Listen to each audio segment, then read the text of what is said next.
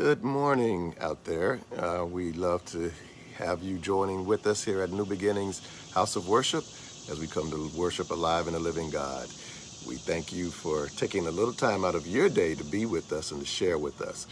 Um, we come this morning uh, with our hearts filled with joy as we uh, get into this celebration of Independence Day.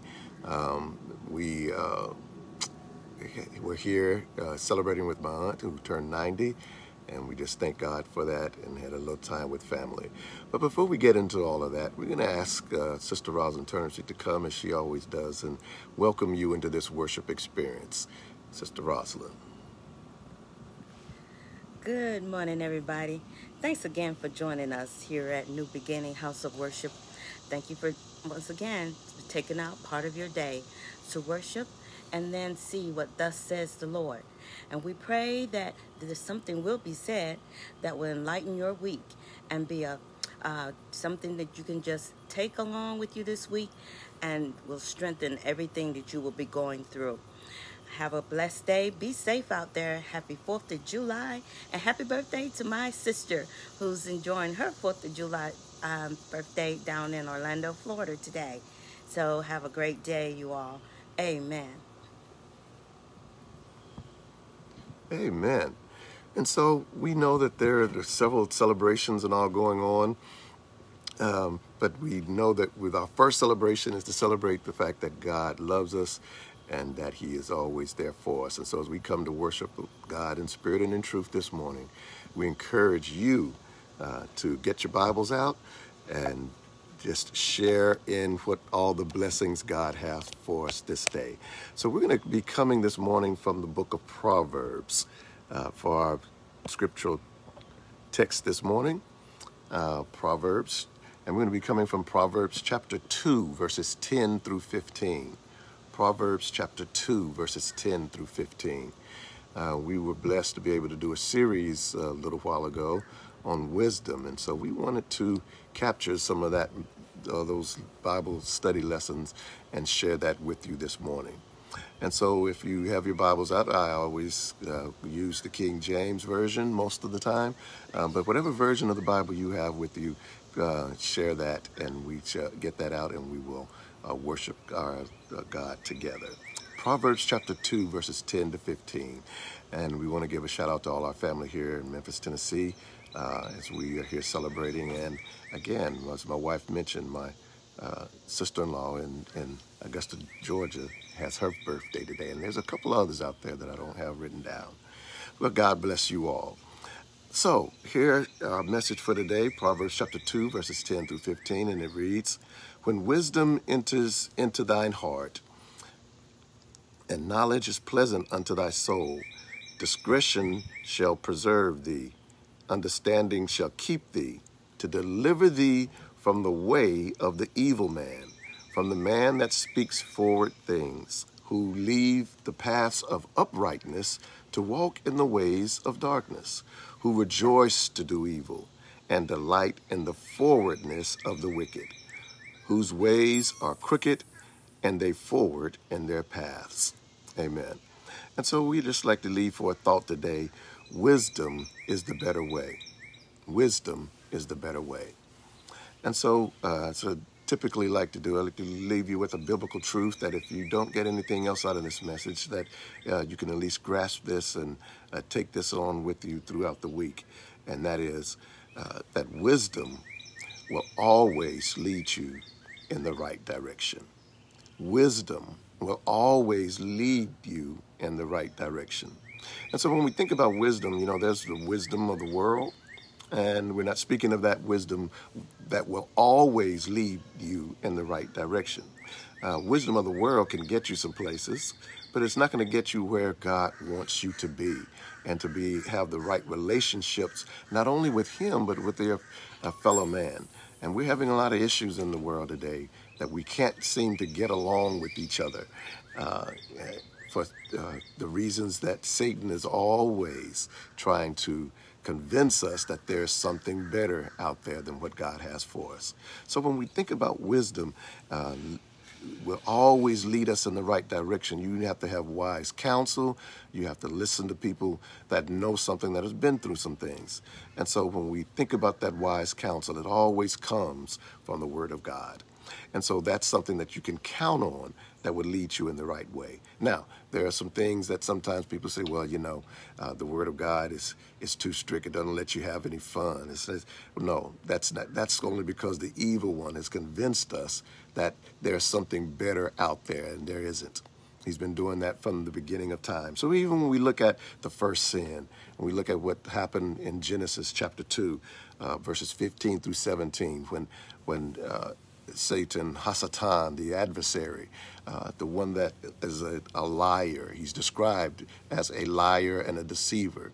Uh, when that person comes along, uh, he, he came in and told them uh, to uh, try the fruit of the, the tree of the knowledge of good and evil. And Eve told them, God said that this we, are not to eat of that. Because of the day that we do, we will surely die. And he says, You won't surely die. And that's that's the, the, the, plan and the plot of the adversary to constantly tell us that what God said is not true. What God said is is not uh, is not as bad as He says it out makes it out to be because God is trying to hide something from us. now, why would God, who created us and placed us in the midst of His creation and gave all of that to us, why would He try to hide something from us that if it wasn't, uh, if it was good for us? God only keeps us from those things that are not good for us. And so we have to have wise counsel to understand what God is saying. And so uh, Satan, uh, his, his ploy was to get us to see that there's something better out there other than what God has for us. And isn't that true in our lives that when we are trying to do right, when we give our life to the Lord, that uh, that that voice comes to us and tell us that we're not good enough. Uh, you still have some issues going on in your life. Uh, he tries to convince you that uh, the things that you're still doing, you see, you, you were doing that long time ago, and now you're just doing the same thing. And so God doesn't doesn't like that. You know, God doesn't like this. God doesn't like that. And so, how is it that Satan can convince us of those things when he didn't follow what God was doing? That's why he's in the state that he's in now. and we don't need to follow in his path. So when we look into this text, of Proverbs chapter 2, verses 10 to 15. There's a lot of nuggets in here uh, that we want to do, we want to, to touch on. Uh, the first thing that we have to be able to do, though, is to be able to resist the devil. Uh, because again, as I mentioned, that that was the first thing that he did was to tempt us to do other than what God asked us to do. And Scripture tells us that there's no temptation that's that comes upon us that's not common to all men. But God will, with every temptation, provide a way out, a way of escape from that temptation. So don't get um, distraught. Don't get upset when temptation comes your way. Uh, don't let it play around in your mind. And if it gets up in there and it stays in there too long, rebuke it. Use God's word to rebuke it. And if you don't have a particular scripture, just tell them to get thee behind me, Satan. But we use God's word to fight that off. So you need to find that scriptural text. And so when we do that, we have to understand what what God has for us. So James 4 through 7 tells us to submit yourselves, therefore, to God. Resist the devil, and he will flee from you. So you can run him off. But we, what the problem is, is that we don't always know a scripture to use. So we need to start, and if you need to start somewhere, start in Psalms or Proverbs, and then just start thinking of the things that you struggle with, and and and Google it. Do it. Do a search. If you have a Bible that has a uh, uh, it's a study Bible, you can go into the back and find uh, various topics that may affect your life. To use those things and to find those scriptural texts that you can use to resist the evil one. Because he's, he's coming. He's always going to try to do it. He tempted Jesus, and so he, if he tempts Jesus, he's going to try to tempt us as well. So how did Jesus fight him off? With the word. We have to trust in the Lord with all our hearts and lean not to our own understanding. See, we can't come up with a way to fight off what Satan has against us, They try to bring up against us. When we try to do it our own way, we always make some mistakes because we think we can outsmart Satan. but he's cunning. He's cunning. And so we have to use the word and allow that to be our strength. Amen? so when we look into this text today, excuse me, it says, When wisdom enters into thine heart, and knowledge is pleasant unto thy soul, discretion shall preserve thee, understanding shall keep thee. So we want to look at a couple of things here. Wisdom, and when it enters into your heart, when you really begin to seek out wisdom and uh, try to understand the things that are going on in the world, things that are going on in your life, what are the things that God really wants from you? What is it? What are His expectations? Then, when you allow wisdom to come into your heart, and knowledge is pleasant unto thy soul. Here's the other thing. Sometimes we want uh, the wisdom of God, but we don't want to know everything that God tells us to do. Because if I know that this isn't right and God says don't do this, then I might not have the kind of fun I want to have. I'm going to be deprived of something somehow. And that's again the evil one convincing us that God's way is not the right way and it's not the best way for you if you want to enjoy life.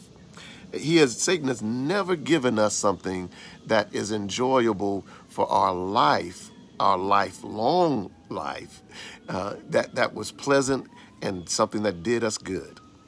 Now, you're gonna say, "Well, preacher, no, that's not true," because there's some things he gives you that's good, but it's only good for the moment. Anything that's good and only lasts for a moment or for a particular point in time is not good for you or for anyone else. And so we have to be careful not to accept some things for, for uh, temporary happiness and then find out that in the long run, they're going to have long-term sadness. And you can look in your own family relationships. You can look at that as a, as, as a key. We know that there's some things and some people have said some things and we may have said some things back or we may have started it. And then now we have families that are still torn apart 10, 15, 20 years ago because of something someone said out of turn. Amen. Amen. So when wisdom enters into thine heart, when you are really ready to seek God's direction and his, his discretion in our life that he will give us, uh, we have to have wisdom, be willing to receive it in our heart, not in our head, because uh, we can try to understand and, and have all the wisdom in the world, read all the books in the world. There's a scriptural text that, that, that um, and I can't remember where it's from, but it says um, uh, that we have to put off all of the reading of books because we need to get and put what we know into action. Uh, too much reading of books can, can be detrimental to us because we're reading this book, reading that book, and we think we know it based on what that author says in that book and not trusting what God has said. And so that's that's a hard thing for me to deal with because as an educator, as a person who loves uh, the educational process, uh, I have to understand exactly what God is meaning. He's not saying don't read, but he's said, telling us too much reading, reading the books constantly can be a problem to you uh, if you're only trusting in what those books say and you're not putting anything into action. Amen. So wisdom enters into thine heart, and knowledge is pleasant unto you, unto thy soul. Again, we get knowledge from uh, not only reading books, but listening to others. So one of the things that we need to be able to do is to have a good mentor, a good uh, Bible-believing church, someone that can come along and actually uh, teach us what thus saith the Lord. Uh, because when we do that and we allow God's word uh, and we get close to God's word and, and uh, you know, sometimes in life we have the Mary Martha syndrome. Sometimes we're so busy doing some things and we're trying to do it for a good reason, such as preparing a meal for all of the guests that are there and it needs to be done, that we miss out on the, the teaching of God's word. We can do that in the church. We can be so concerned about the flow of the program and the, uh, who's what the choir is singing and all of this that when the preacher's preaching, we're thinking of all these other things and distractions that's going on that we don't really hear the word. And sometimes, especially on special days, uh, we're so busy preparing and for the, the feast afterwards that we miss out on the word. Now, that, does that mean that you don't prepare? No, but we have to have some priority. Martha, Mary and Martha had that situation. Uh, one sat at Jesus' feet and listened, which was a strange thing in those times for a woman to be sitting at the feet of the master. Uh, but this new, new relig- this new uh, religious form of worship was was being born, and that being that the uh, the old ways of the separation of the men here and the women there, the Gentiles here, the Jews here. No, we're all in this thing together now, and so we come together to worship God.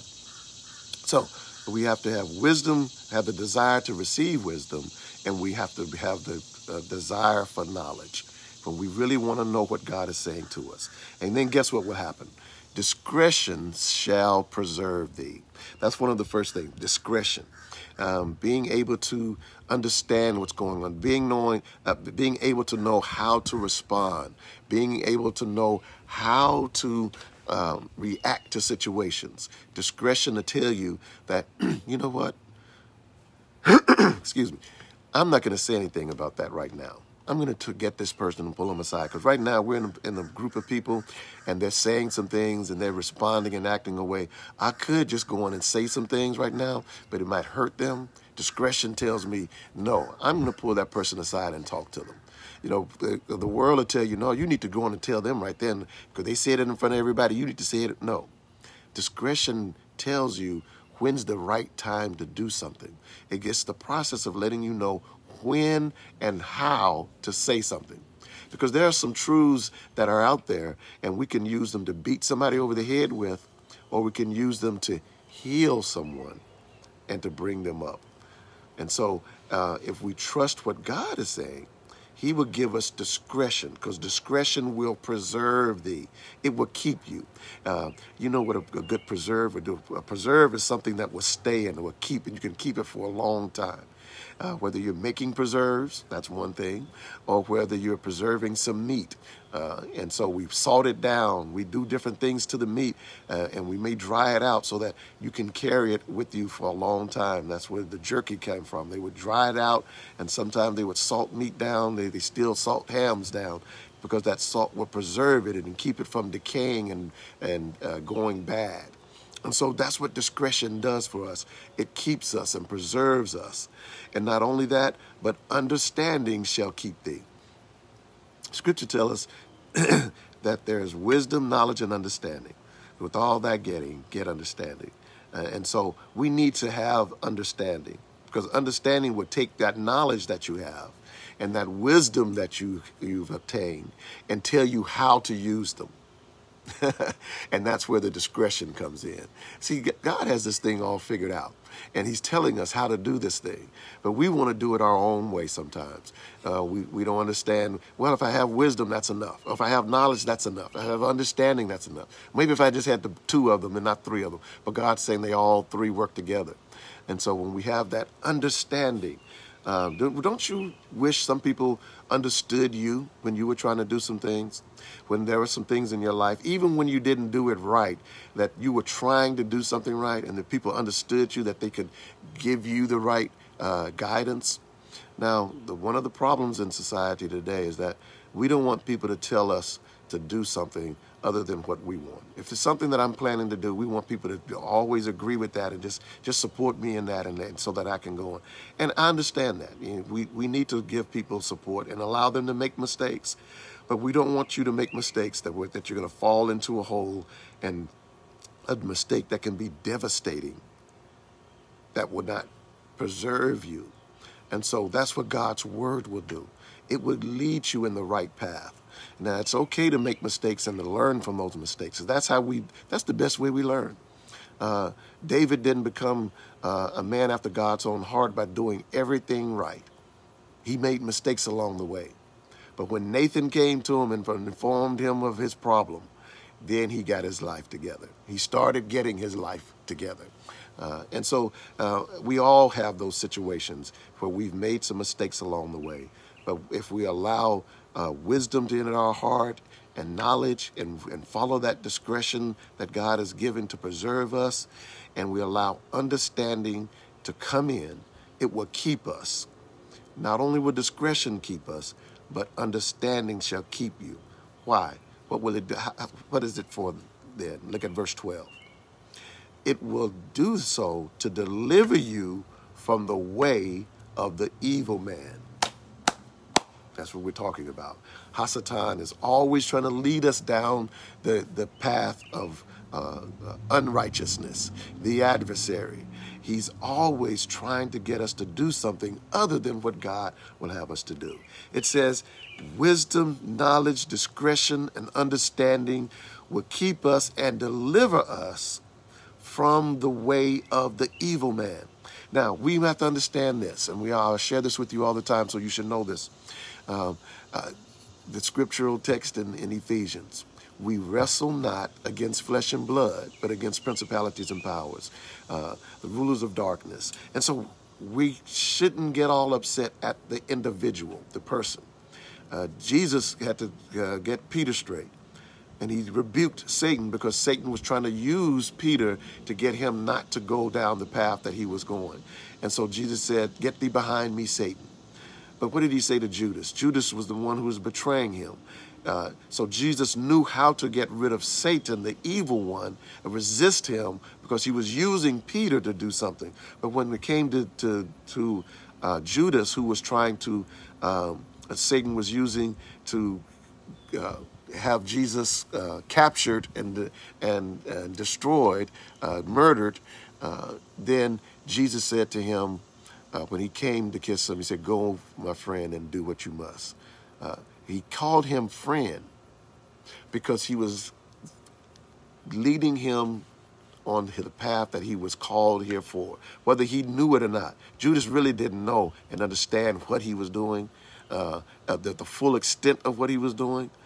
But guess what? Judas had the opportunity to be saved, but Judas went down the wrong path and hung himself. Peter, on the other hand, he got upset after he after Jesus' death and he realized the thing. He knew it immediately when the cock crew that he had rejected Jesus. But guess what Jesus did? Because he didn't kill himself, Jesus had the opportunity to restore him. And so when they he saw them on the out there fishing, and he told them to come in, he had the fish cooking on the side. He said, "Peter, do you love me?" He was restoring Peter.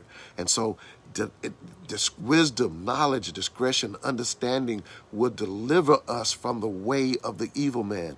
Don't get into this thing to where you beat yourself up because you've done something wrong.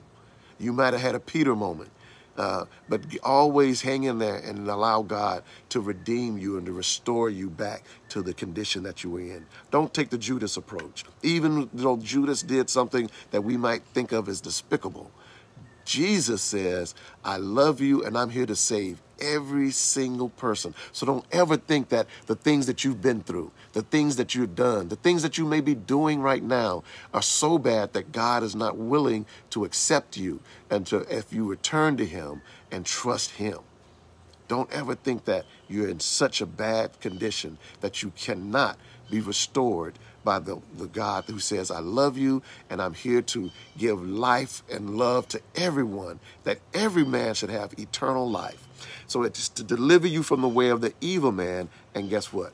From the man that speaks forward things. Hmm. There are some people out there that's going to tell you some stuff and tell you this is the way I need to handle it. You need to handle it. There, girl, it's all right to go out there. Going out there and have you a good time. Going out there and sleep with him and sleep with him. Go on, dude. You know that she wants you. She he she wants you, and and and maybe even a he wants you. And they're trying to tell you and convince you that those things are okay. But God says those are people that speak forward things like that. God will keep you from those things if you have discretion wisdom, knowledge, and understanding. It will keep you from those things. And, and look what it says. Uh, so let, let's just combine verses 12 and 13. He says, To deliver thee what? From the way of the evil man, from the man that speaks forward things, who leave the paths of uprightness. The evil man, the one who speaks forward things, they leave the path of uprightness to walk in the ways of darkness. So why are we listening to that? When we're trying to get our life together and we want to live in the sunshine, we want to live in the in the, the, the life that God has for us. Why would we listen to the evil one? Wisdom knows better. Wisdom is the better way. Touch yourself and tell yourself that. Wisdom is the better way. We need to trust what God has for us because the evil man The people that speak forward things, that try to get you to do the things that God wouldn't help help you have you to do. Those people who speak perverse things that always uh, have something nasty to say, have the, have the potty mouths, and always trying to get you to do the the lewd and crude and the wicked. Those people trying to lead you down the wrong path. They will leave the paths of uprightness to do what? To walk in the ways of darkness. You know, it makes me remember uh, the old Richard Pryor saying, he's standing around, his friends asking, well, what you gonna do? What, what you, what you, what you doing, man? What, why you standing around here? He said, I'm waiting for 1130. What you waiting for 11:30? Everything gets started. The party starts at 11:30. You know that was back in the day. 11:30 was the time. Everybody knew when darkness fell that that that 11:30 was the time to get your groove on and get get out there and get into the things. All kind of things happen because everybody else has gone home and gone to bed. But these are the things that we need to walk away from. We don't need to stay in darkness. Um, aren't you tired of having to deal with some things that are so deep and dark and depressive in your life? Don't you want to get out of some of those things? We're now in July is National Minority Mental Health Month. And we really need to focus in on our mental health because there are some things that we've always said that um, um, black people aren't or don't go through depression. We, if you're depressed, then something's wrong with you. You need to get yourself together. You need to pull yourself. To, no, you need to hear what God is saying, and you need to get some wise counsel. That means you may need to go to a professional. You may need to seek out some things. There may be some prescription that you need to take, and don't get so upset about uh, or worried about it if the if it, the first one don't work. Tell your doctor and let them adjust it and change it so it'll work for you, because God is giving you some knowledge about these things that you can have a better understanding of your own self and you can get the healing that you need. Amen. Amen. And so when we look at this, and the last thing that we have here, as he says in verse, verse from verse 13 to 14, he's already told us that we need to get away from the evil man in verse 12, the ones who speak forward things or perverse things, because they leave the paths of uprightness to walk in the ways of dark, darkness. But guess what else? They rejoice to do evil. They are happy to do evil things. And so that's the person that we need to get away from. And they delight in the forwardness of the wicked. And we can see in society today that we are celebrating some things that God says we should not be doing. And I'm going to leave it there for you to determine what that is. You already know. You know what it is. We're celebrating so many things when God says this is perverse, this is an abomination, and we're saying that it's okay. Now, here's the thing, and I want you to understand this clearly that we don't look at people that are doing those things, that are acting so perverse and doing the lewd and crude things, and say, You can't come and worship with us because the house of worship is the place for healing and restoration comes from. And so we need to be able to teach those people that are dealing with whatever it may be in their life that society says is okay that we need to, to, to make sure that we give them the love of God, that they will hear what God says, and they can receive wisdom, that they can receive the knowledge of the things that's going on, the forward things, the perverse things that they're doing, and what God truly says about it, that they can uh, exercise discretion and have understanding so that they can be delivered from the way of the evil man. I don't know if you understand that. I don't know. I hope you get that. Because we in the church, too many times, are saying that this is wrong and that is wrong, and we're telling them, don't even come be around us.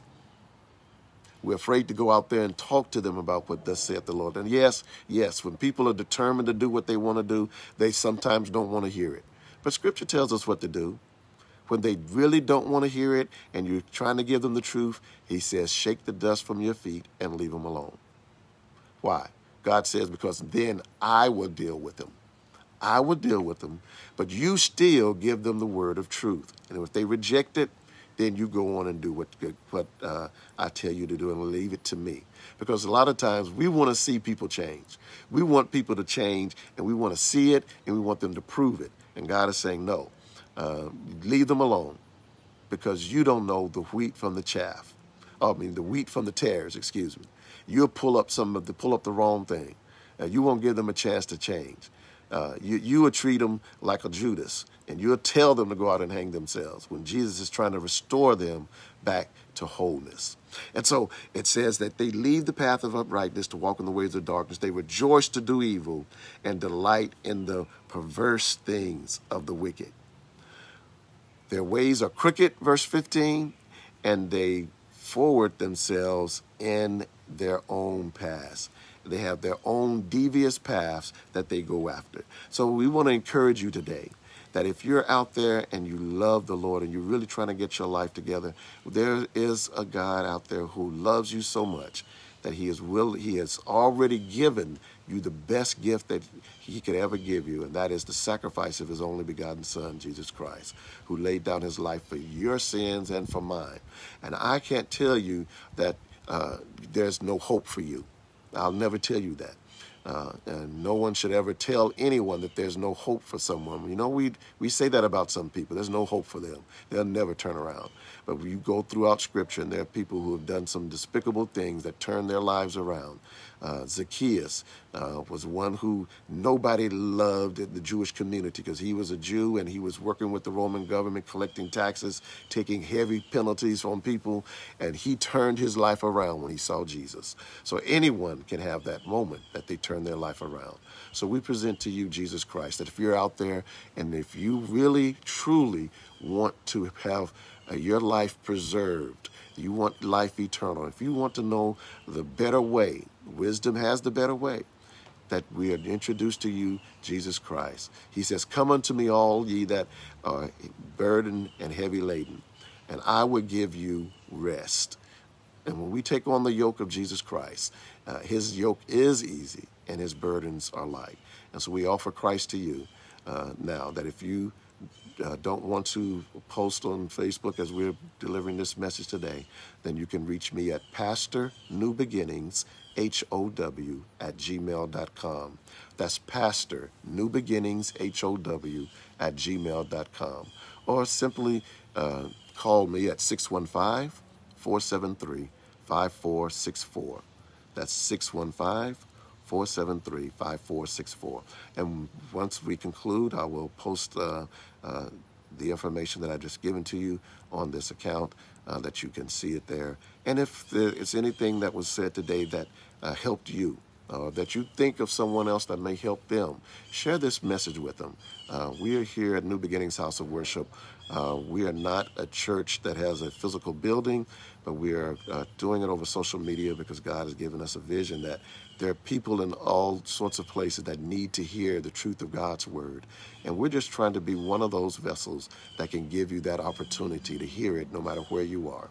And so if you want to be a part of this ministry, you can email us and let us know as well. We would love to have you to be a part of our ministry, uh, that we have some things that we're planning to do. And we really want to focus on mental health this month. So we'll be hearing some things on uh, mental health uh, during this month as well and we hope to have a speaker on. And we may do our Bible study too on another day doing Zoom, but we'll give you that information that you can stay tuned and listen in to us. If you love to give to this ministry, uh, we have givelify.com, G-I-V-E-L-I-F-Y.com, and we'll post that as well, that if you love to share anything with us, uh, uh, monetarily, you can do it through that, or just simply mail it to us, and we'll post that 3919 Kings Lane, Nashville, Tennessee, 37218. And we thank you and we bless you and may God continue to give you all that you need. Amen.